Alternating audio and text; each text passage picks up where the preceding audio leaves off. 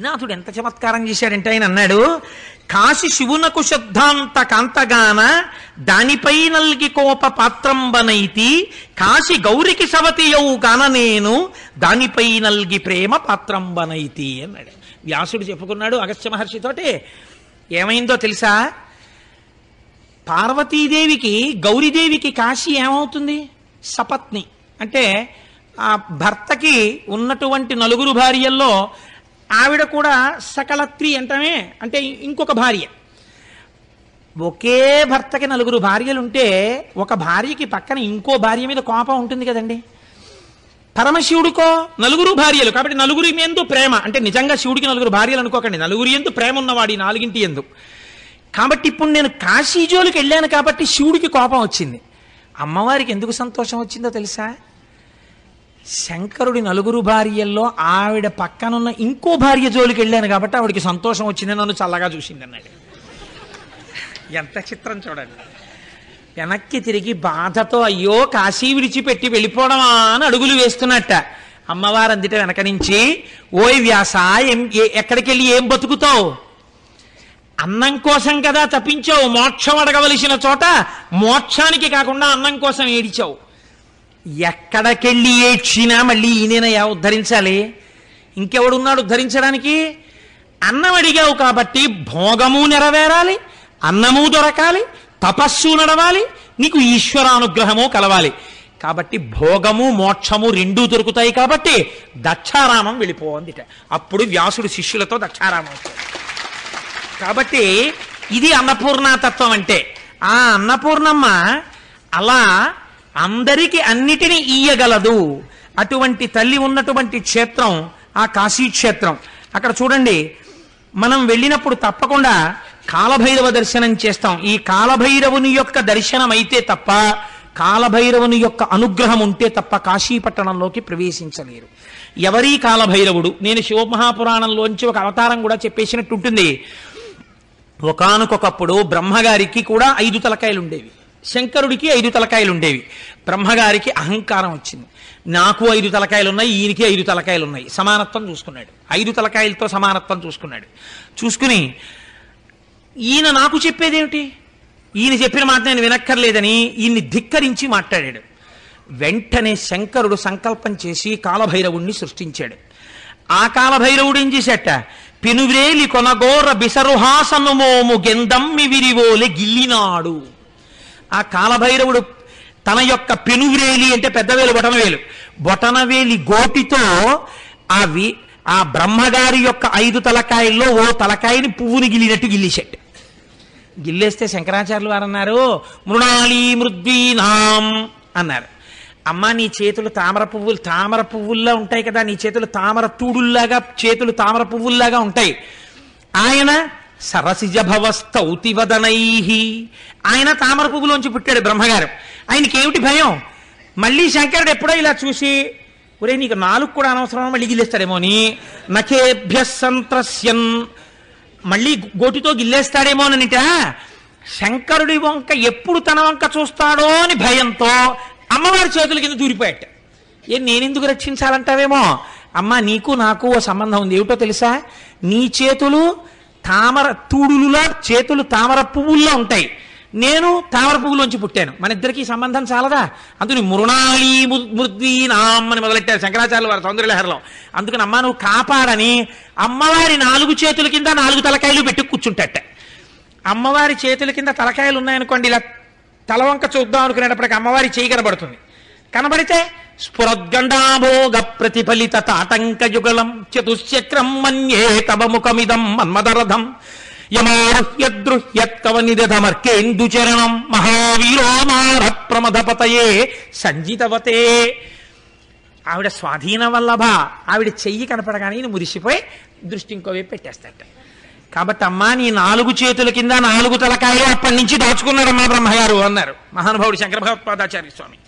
అలా ఏ మహానుభావుడు తన బొటనివేలి గోటితో చతుర్ముఖ బ్రహ్మగారి యొక్క ఐదవ సరస్సు గిల్లేశాడో అది కాలభైరవ అవతారం వీటి పెద్ద తలారి దిశమల వేల్పు కర్రి వీడాశూన్య కటికోపుర ద్వార పరిరక్షకుండు కాలభైరవుండు. ఆయన వారణాసి పట్టణానికి అంతటికీ కూడా కాపలాదారు అయి ఉంటాడు. ఆయన అనుగ్రహం లేకుండా లోపలికి వెళ్ళలేరు. కనుకనే కాలభైరవ దర్శనం చేసి విశ్వేశ్వర దర్శనం చేయడం చాలా ఉత్తమం. విశ్వేశ్వర దర్శనం చేసి కాలభైరవ దర్శనం చేయడం కన్నా కాలభైరవ దర్శనం చేసి విశ్వేశ్వర దర్శనం చేయడం మరింత పూర్ణత్వాన్ని ఇస్తుంది. ఎందుచేతంటే ఆయన అనుగ్రహాన్ని అపేక్షించి వెడితే చాలా సంతోషిస్తాడు. కనుక అది కాలభైరవుడు. అలాగే మీరు చూడండి మనకి కాశీపట్టణంలో తప్పకుండా చూడవలసినటువంటి సూర్యశక్తి ఒక చోట కేంద్రీకృతమై ఉన్నది. దీన్ని లోలార్కుడు అని పిలుస్తారు. ఈ లోలార్కుడు గురించి ఒక మాట చెప్తారు. తస్యార్కస్య మనో లోలం యదాసీత్ కాశీదర్శనే అతో లోలార్క ఇత్యాఖ్య కాశ్యాం జాత వివస్వత. తులసీ ఘాట్ దగ్గర స్నానం చేస్తే తులసీ ఘాట్ ఎదురుగుండా ఉన్నటువంటి గోడ మీద పెద్ద చక్రం ఒకటి ఉంటుంది. ఆ చక్రానికి ఆ చక్రాన్ని మీరు దర్శనం చేస్తే ద్వాదశాదిత్యుల యొక్క శక్తి కూడా ఎప్పుడెప్పుడు కాశీ పెడదామా ఎప్పుడెప్పుడు కాశీ పెడదామా అని తాపత్రయపడి కాశీ వచ్చాట. అలా కాశీ వెడదాం కాశీ వెడదామని తాపత్రయపడి వచ్చి వెలిసినటువంటి సూర్యశక్తి అక్కడ ఉన్నటువంటి చక్రం మీద ఉన్నది కనుక లోలార్కుడని పిలుస్తారు. ఆరోగ్యం భాస్కరాదిచ్చేత్ ఆ తులసీ ఘాట్ గోడ మీద ఉన్నటువంటి ఆ లోలార్క బింబానికి ఆ చక్రానికి నమస్కారం చేస్తే గంగా స్నానం చేసి ఆరోగ్యం కలుగుతుంది. అలాగే కాలభైరవుడు ఎలా రక్షిస్తాడో కాశీపట్టణాన్ని వారాహి ఎలా రక్షిస్తుంది. నాకు జ్ఞాపకం ఉన్నంత వరకు రాజేంద్ర ప్రసాద్ ఘాట్ అనుకుంటాను కాశీలో. రాజేంద్ర ప్రసాద్ ఘాట్లో స్నానం చేసి మీరు పక్కనే ఉన్న ఇరుకు సందులోంచి వెడితే వారాహి దేవాలయం ఉంటుంది.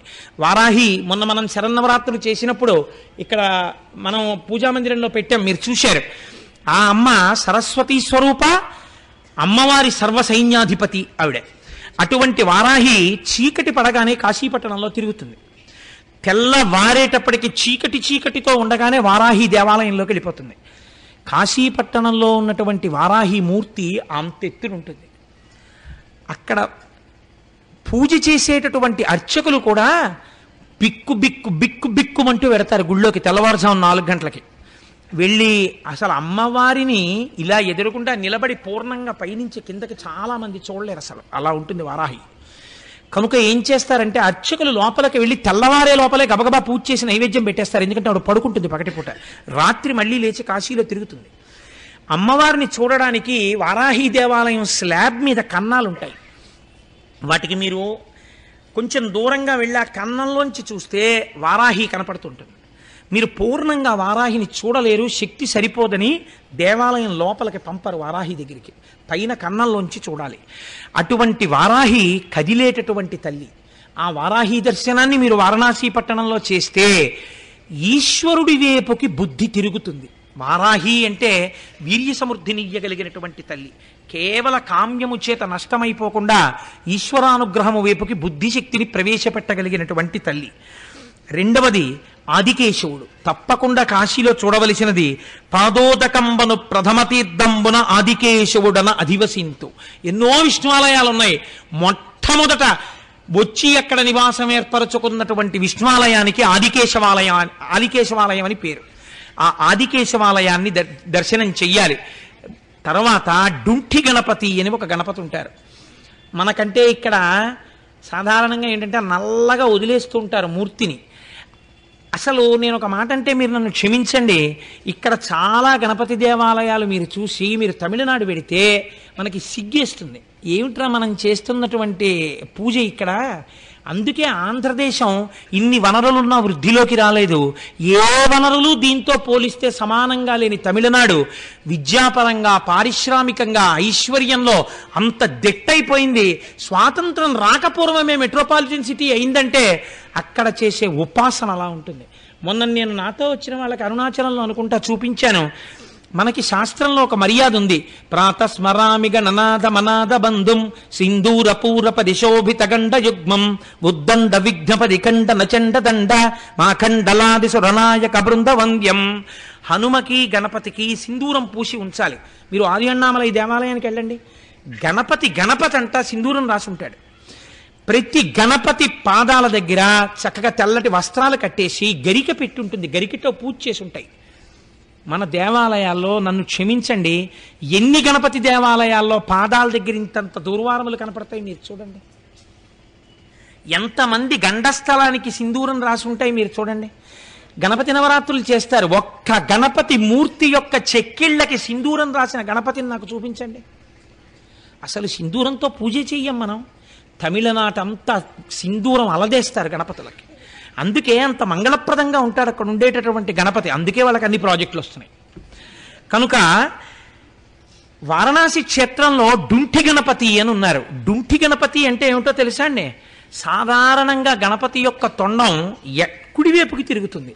కానీ ఒక్క కాశీపట్టణంలో ఉన్నటువంటి డుంఠి గణపతికి ఎడమవైపుకి తిరిగి ఉంటుంది తొండం.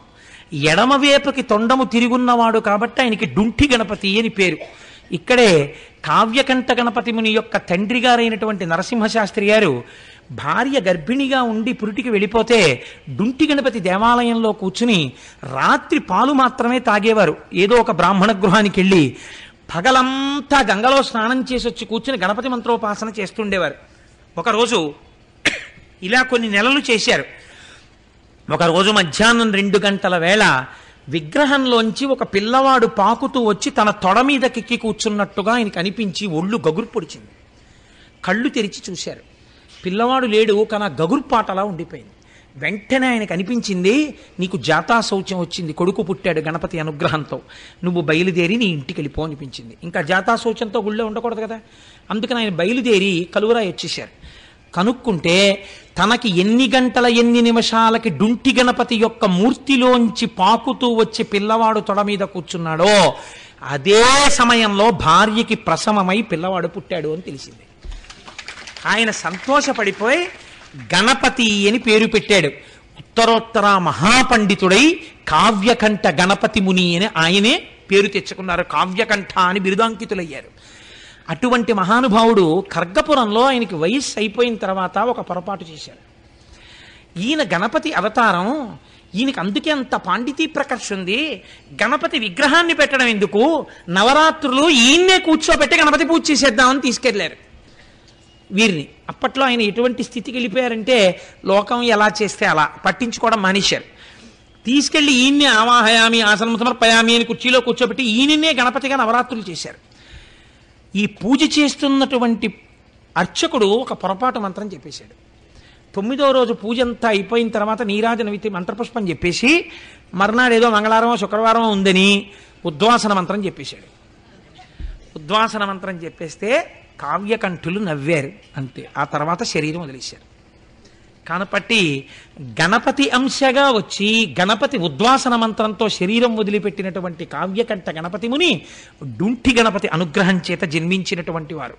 ఆయన దర్శనం చేస్తే విఘ్నములు తొలగి సర్వమంగళములు కలుగుతాయి. అక్కడే దండపాణి అని రెండవ క్షేత్రపాలకుడు ఉంటాడు కాశీపట్టణంలో. భరించునాతండు పాణిపల్లవమున వెండుకట్టులతోడి దండయష్టి.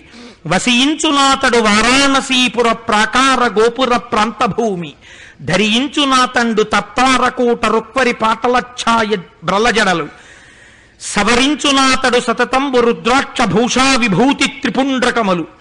సౌమ్య రూపంబు వహించు సజ్జనులకు పాపమతులకు వికృత రూపంబు దాల్చు. పింగళాక్షుండు దీర్ఘ గంభీరమూర్తి చండికాపతి ప్రమధుండు దండపాణి.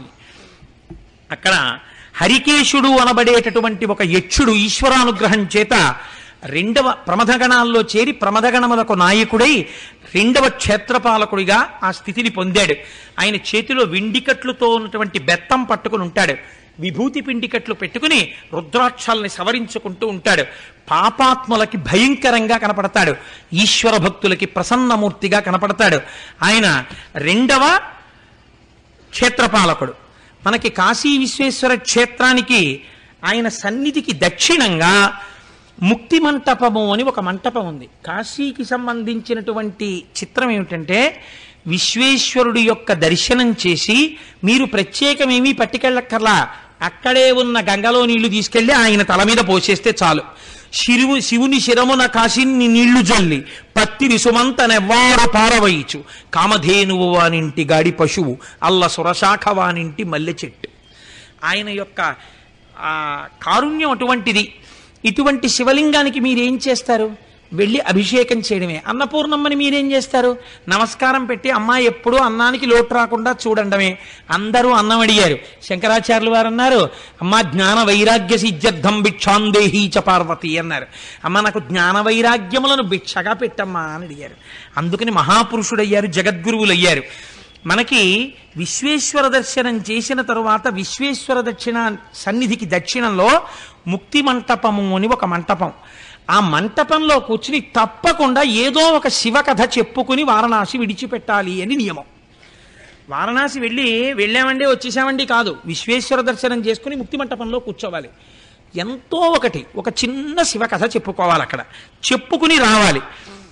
వీలైతే మణికర్ణికా స్నానం చేసి వెళ్ళమన్నారు తప్పకుండా గంగా స్నానానికి. ఇక్కడే ఈ ముక్తి మంటపంలోనే ఒక చిత్రం జరిగింది. మహానందుడు అనబడేటటువంటి ఒక వ్యక్తి భార్యతో ఇద్దరు బిడ్డలతో ఎక్కడో ఉండేవాడు చేయరాని పాపములను అన్నింటినీ చేసేసాడు అన్ని పాపములు చేసిన తరువాత చనిపోయాడు. చనిపోయి ఆయన భార్య ఇద్దరు పిల్లలు కూడా నలుగురు కోళ్ళై పుట్టారు. ఈ నాలుగు కోళ్ళు కాశీపట్టణంలో ముక్తి మంటపానికి చేరి శరీరం విడిచిపెట్టి మోక్షాన్ని పొందాయి. ఆ నాలుగు కోళ్ళు కూడా ఆ మంటపంలో కనపడతాయి మనకి. దాన్ని కుక్కుట మంటపము అని పిలుస్తూ ఉంటారు కుక్కుట చతుష్టయము అని పిలుస్తూ ఉంటారు కాబట్టి తప్పకుండా మనం పాపం పోవడానికి ముక్తి మంటపాన్ని ఒకసారి దర్శనం చేసి ఒక చిన్న శివకథ చెప్పుకొని బయలుదేరాలి అక్కడి నుంచి. మనకి కాశీ వెళ్ళలేకపోతే ఏ కారణం చేతనైనా కాశీ వెళ్ళలేకపోతానన్న వాడి కోరిక తీరడానికి ఏదైనా మార్గం ఉందా అని అడిగితే కాశీ తప్పకుండా దర్శనం చేసి తీరవలసిన క్షేత్రం మనుష్య జన్మనెత్తినవాడు కాశీ వెళ్ళవలసిందే. ఒకవేళ ఏ కారణం చేతనైనా కాశీ వెళ్ళకపోతే ఏం చెయ్యాలి? అంటే శాస్త్రం అంది ఐదు కాశీలు ఉన్నాయి ఈ ఐదు కాశీలలో కనీసం ఏదో ఒక కాశీకి వెళ్ళాలి. ఒకటి కాశీ. ఉన్నటువంటి వారణాసి. రెండు కేదారము. కేదార క్షేత్రానికి వెళ్ళాలి మూడు శ్రీశైలము. నాలుగు శ్రీకాళహస్తి. ఐదు పట్టిసము.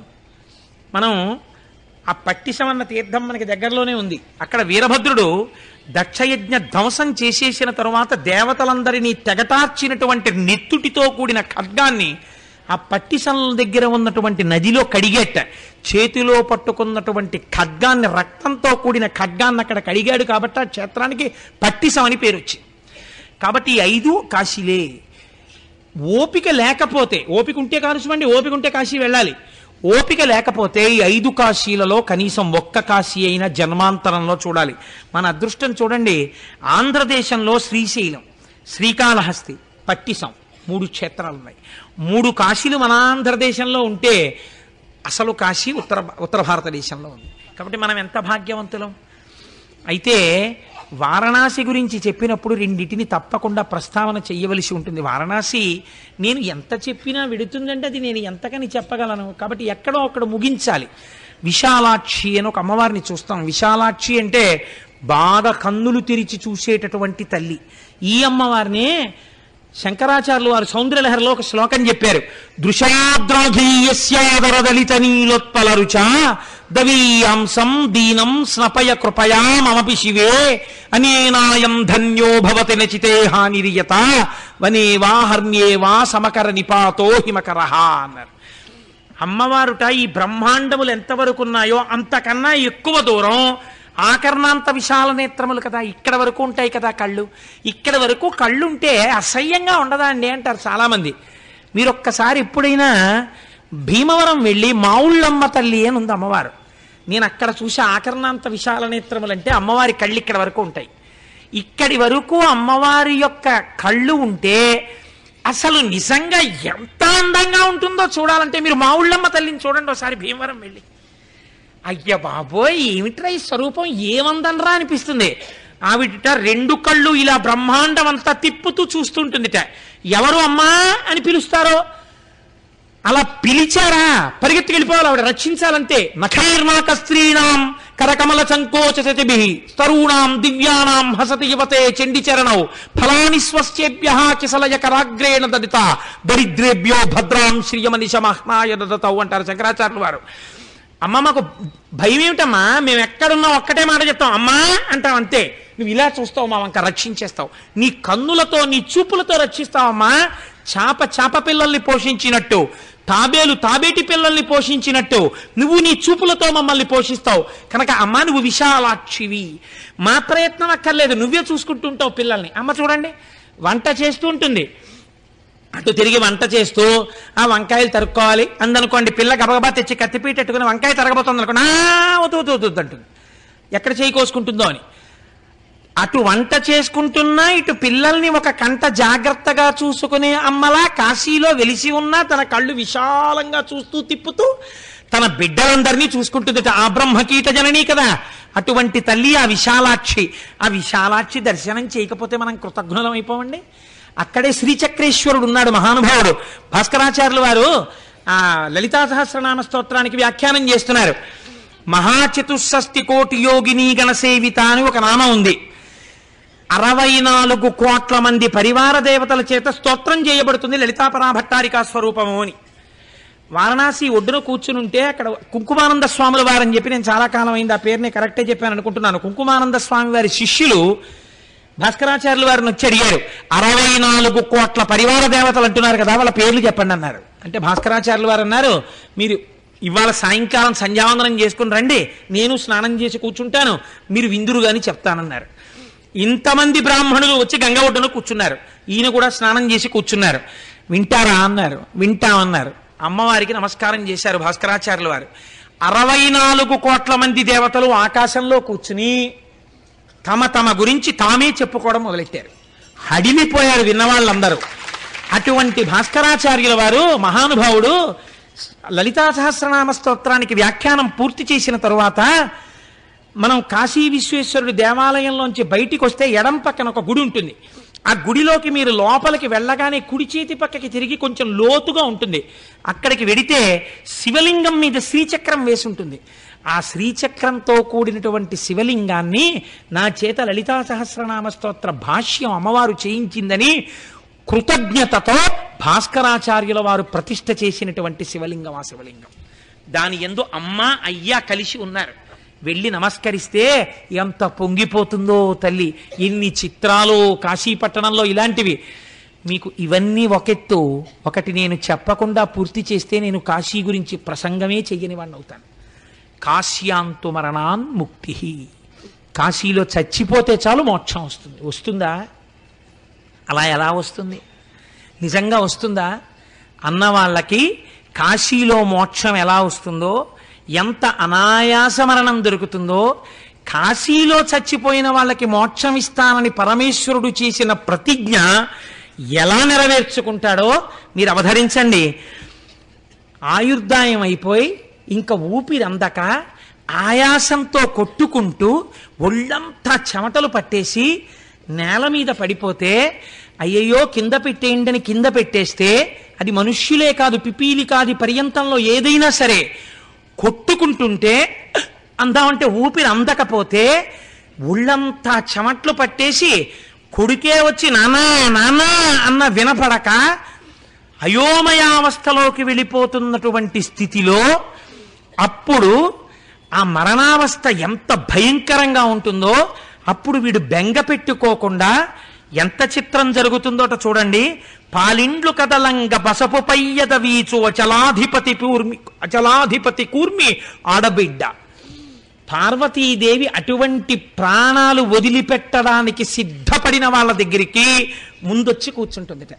అమ్మవారు కూర్చోగానే ధునో తుద్ధాంతం నస్తులిత దళితేందీవరవనం ఘన స్నిగ్ధ చికురని చికుర నికురంబం తవ శివే. యదీయం సౌరభ్యం సహజముపలబ్ధం సుమనసో అంటారు శంకరాచార్యుల వారు. అమ్మవారి కురులకి సువాసనలు ఉంటాయి ఆ సువాసనల్ని తాము పొందడం కోసం దేవతా వృక్షాల పువ్వులు అమ్మవారి కురులకి చేరాలనుకుంటాయిట. అటువంటి కురులు కలిగినటువంటి అమ్మవారు వచ్చి వాడి పక్కన కూర్చుంటుందిట. కూర్చునేటప్పటికీ అమ్మవారి చేతులకు పెట్టుకున్నటువంటి గాజుల యొక్క గల్లు వినపడుతుందిట. అమ్మవారి చరణ మంజీరపు ధనులు వినపడతాయిట. ఈ ప్రాణం పోతున్నవాడు ఎక్కడ నుంచి వచ్చిందిరా ఈ సువాసన?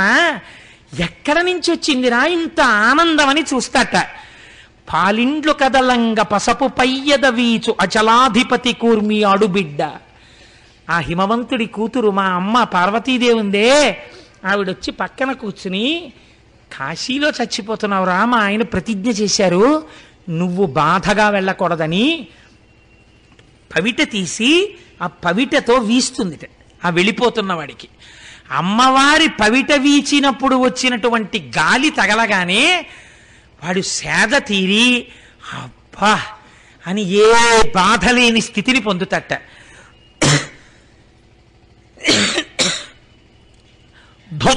ధొక్కారమునరించు తొండంబు ముక్కున శిఖరాసారంబు జిలుకు డుంటి గబగబా వస్తాట డుంటి గణపతి.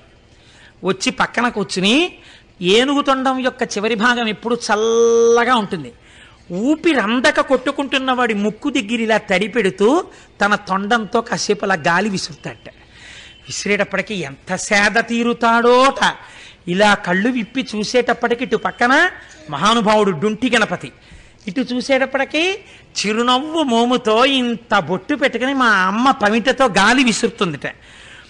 ప్రత్యక్షమై వచ్చి భాగీరథి గంగ మృదుల హస్తము సాచి మేను నివురు. నాన్న బెంగ పెట్టుకున్నావా? వెళ్ళిపోతున్నానని? చెమట పట్టిందా? ఒళ్ళు వేడెక్కిపోతుందా? ఏం భయం లేదని చల్లని తల్లి కదా గంగమ్మ. సాకార రూపురాలై వచ్చి చెమట తుడుతూ చల్లటి చేస్తూ ఒళ్ళంతా తుడుస్తుంది తుడిస్తే ఎంత సేద తీరుతాడోట. ఇప్పుడు ఏ భయం ఉండదట.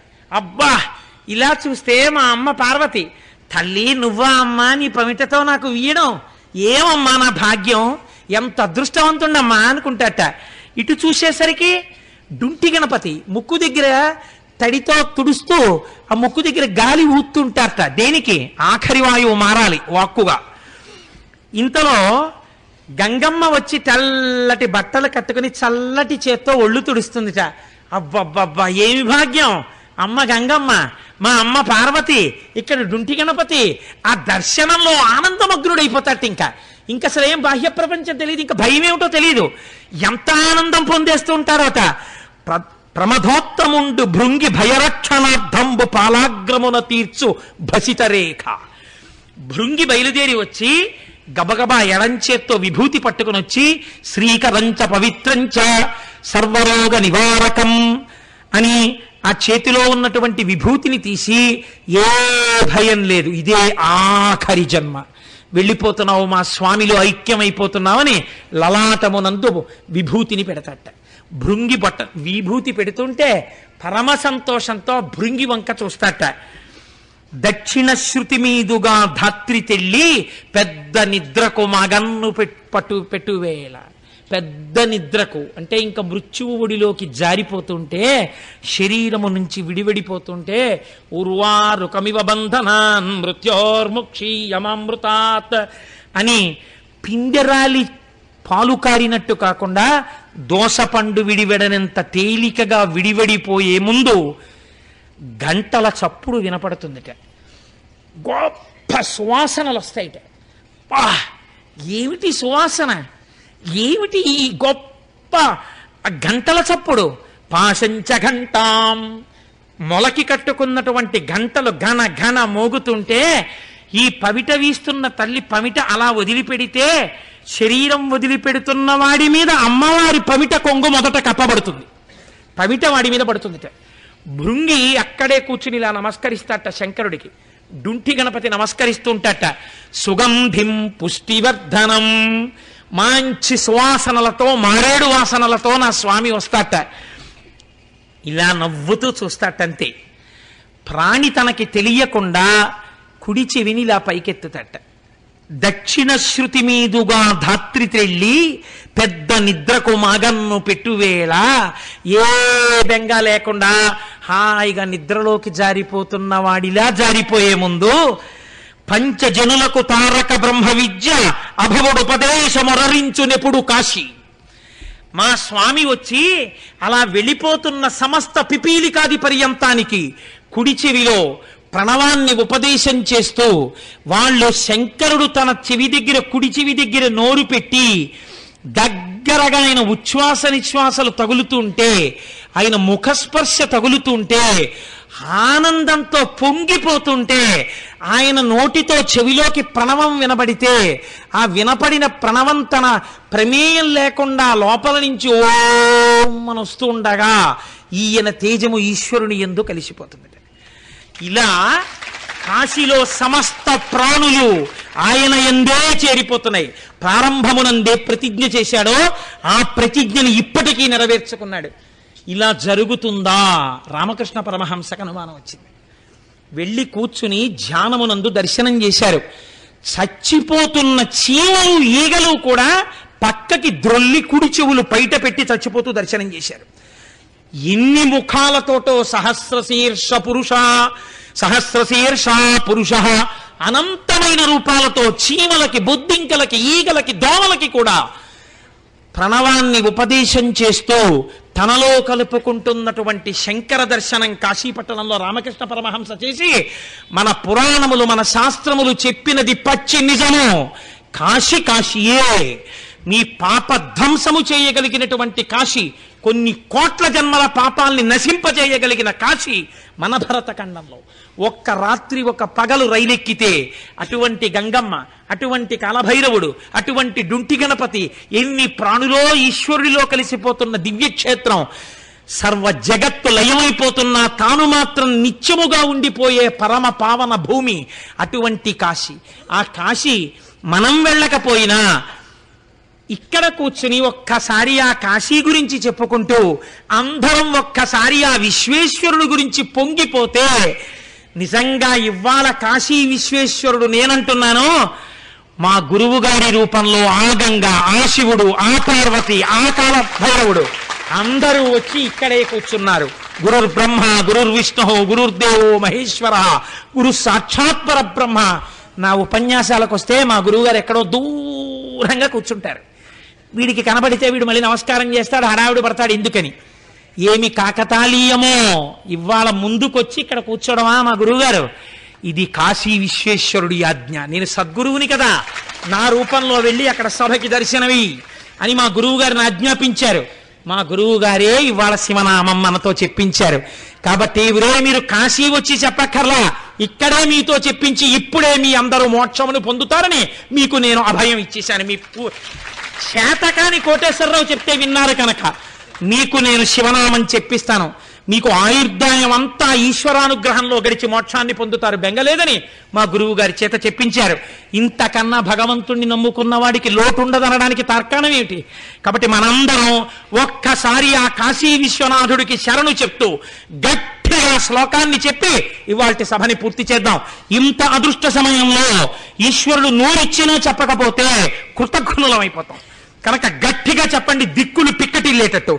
సాందవనే వసంత ఆనందకందం హతపాప బృందం వారాణసీనాథనాథనాథం శ్రీ విశ్వనాథం శరణం ప్రపద్యే.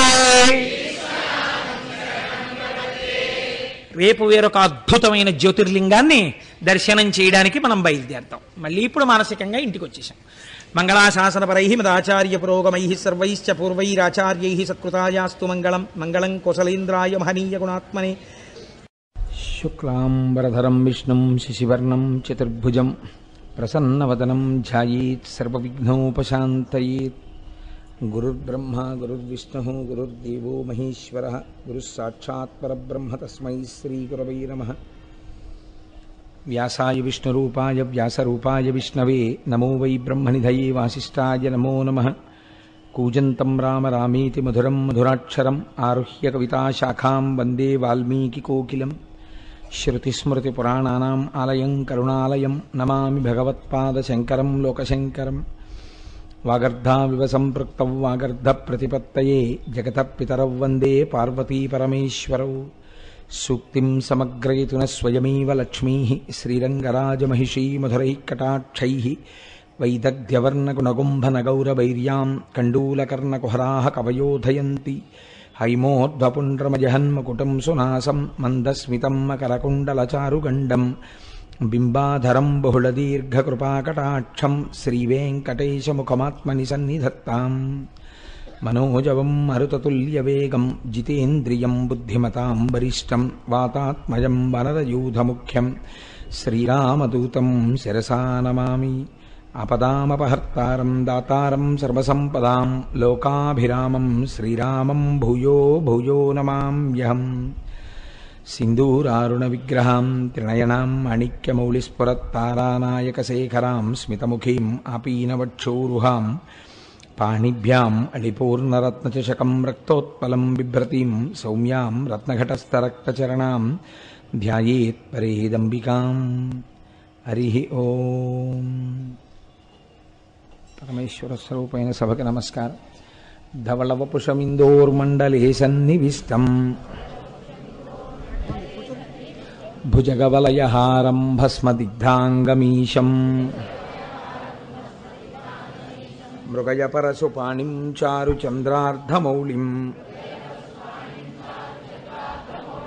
హృదయకమలమధ్యే సంతతం చింతయామి శివో మహేశ్వర శంభో పినాకీ శశిశేఖర వామదేవో విరూపాక్ష కపర్దీ నీలలోహిత. శంకరశూలపాణిశ్చ విష్ణువల్లభ. సిపి విష్టోంబికానాథ శ్రీకంఠో భక్తవత్సల భవసర్వస్త్రిలోకేశస్యతి కంఠ శివాప్రియ ఉగ్రకపాలీ కామారీ అంధకాసురసూదన గంగాధరో లలాటాక్షకాళకాళకృపానిధి భీమ పరశుహస్తశ్చమృగపాణిర్జటాధర कैलासवासी कवची कठोरस्त्रिपुरान्तकः। वृषाङ्को वृषभारूढो भस्मोद्धूलितविग्रहः। सामप्रियः सर्वमयस्त्रयीमूर्तिरनीश्वरः सर्वज्ञः परमात्मा च सोमसूर्याग्निलोचनः। హవిర్యజ్ఞమయ సోమ పంచవక్ర సదాశివ విశ్వేశ్వరో వీరభద్రో గణనాథ ప్రజాపతి హిరణ్యరేతా దుర్ధర్షో గిరిశో గిరీశో నగ భుజంగభూషణో భర్గో గిరిధన్వీ గిరిప్రియ కృత్తివాసా పురారాతిర్భగవాన్ ప్రమదాధిప మృత్యుంజయ సూక్ష్మతనుర్జగద్వ్యాపీ జగద్గురు వ్యోమకేశో మహాసేన జనకారు విక్రమ రుద్రోభూతపతిస్తానుర్రహిర్భుజ్ఞో దిగంబర अष्टमूर्तिरनेकात्मा सात्विकः शुद्धविग्रहः शाश्वतः कण्डपरशुः अजःपाशविमोचकः मृढः पशुपतिर्देवो महादेवो व्ययो हरिः पूषदन्तभिदव्यग्रो दक्षाध्वरहरोहरः। भगनेत्रभिदव्यक्तः सहस्राक्षः सहस्रपात्